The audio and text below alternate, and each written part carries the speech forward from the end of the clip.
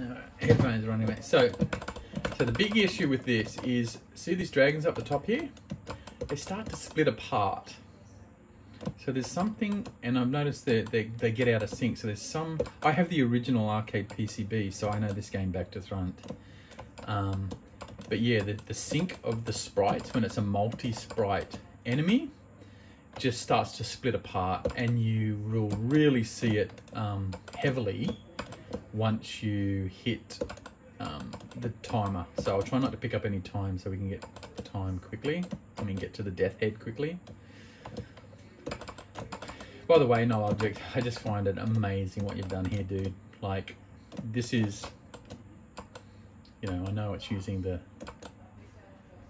the main ROM, but oh, I picked up a time. See that? See, did you see that dragon was splitting apart? So it'll happen to the dragon, it'll happen to this rock at different times, I think. Maybe it won't happen to the rock. Definitely happen to dragons.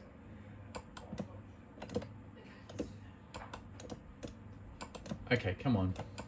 So what I'm noticing with those guys is that the the sync of the sprite of the guy that's riding under the dragon is slightly out from the dragon. Look at that death head though. He splits apart top, you know, side to side and top to bottom when it gets faster.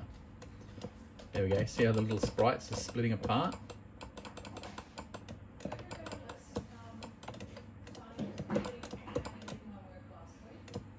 I'll let it get a bit faster and you'll definitely see the issue. Yeah. I mean, I think you can see the issue already, right?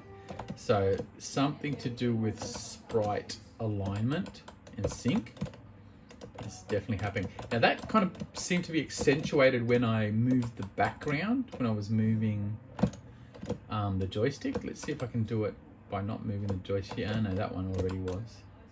I need to kind of not move the joystick and do it. So, if, yeah.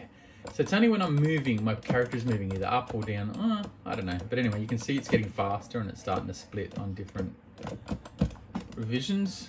Okay, the dragon started to split there. There you go. He's splitting.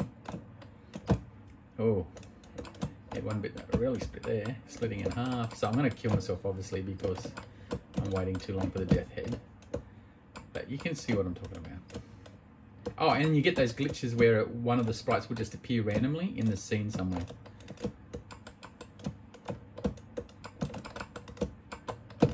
Uh, and I'm dead. Okay, that's it. I just wanted to show that. So that is, um, yeah, a sprite issue with the game. Thanks.